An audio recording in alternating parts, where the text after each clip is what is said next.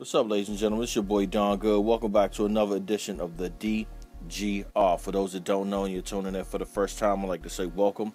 And the DGR stands for the DarnGood Report. Shout out to all my subscribers and all the folks out there that's viewing my videos. I appreciate all the positive feedback and the support y'all leaving your boy. Continue to do so because you know what, ladies and gentlemen? At the end of the day, I do this for y'all as well as I do it for myself. All right, let's jump into the review. You are now looking at the Asics G2 Easter collection.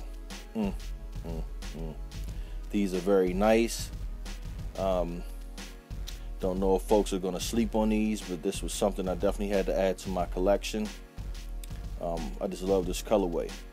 Uh, the colorway first off is green ash and soft gray, and I think in some of the blogs they're actually calling it pastel as well.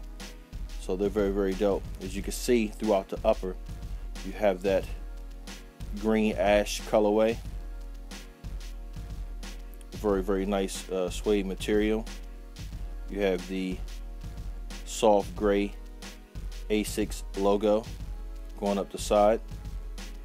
In the heel border, you have the purple speckles on the white base. You have a white midsole with the gel logo right there. Asics on the tongue. You have that green ash inner with the Asics and white bordering. White around the inner ankle. Asics right there on the back with the 3M hint as well. You have that gum bottom the Asics logo right there. I love the tread. I think this gum bottom sets the shoe off. Um, some folks might beg to differ, but uh, I'm definitely feeling this and how they put this together. These are very dope, ladies and gentlemen.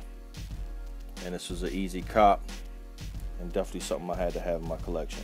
All right, this your boy DarnGood signing out with another DGR. If you haven't subscribed, subscribe today. And uh, trust me, I won't let you down. See you on the next DGR. Peace.